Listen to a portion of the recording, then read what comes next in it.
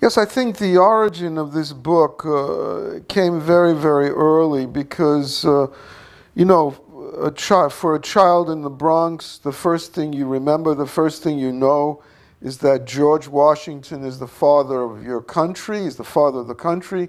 He never tells a lie.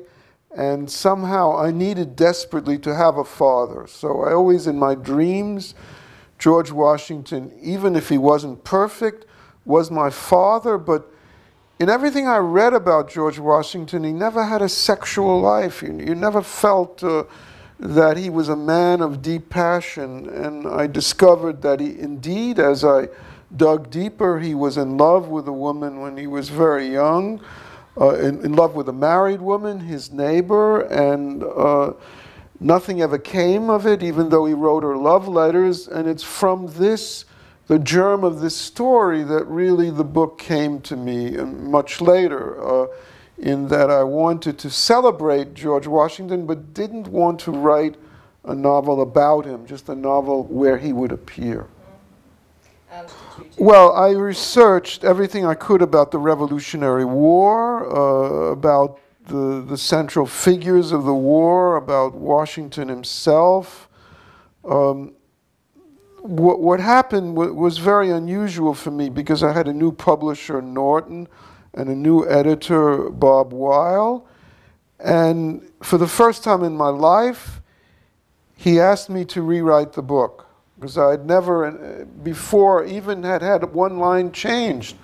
And all the editors I'd had, they never asked me to do anything. So, and he wanted a complete rewrite of the novel. And I rewrote the whole novel, and he wanted me to rewrite it again. So it took, with all the rewrites, it took about two and a half years. Which is quite a long Yeah, it's a long time. And with Emily Dickinson, the novel I, I just finished, it was even longer because I had to rewrite it even one more time.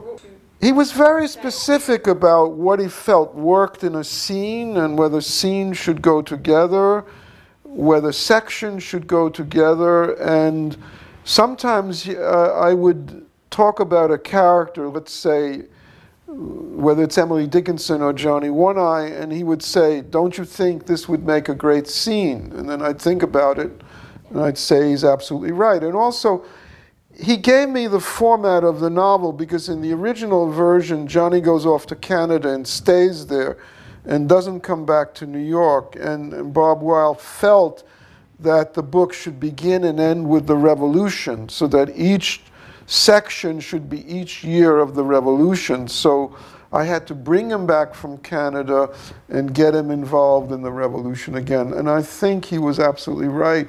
And the same thing is happening because I'm just writing a novel about Berlin uh, during the Second World War. And even before I've shown it to him, I realized that the novel shouldn't extend beyond the war, should remain within the context of World War II. So it's interesting that one's editor or the editor's dream can very often edit, enter your head even before he looks at the manuscript.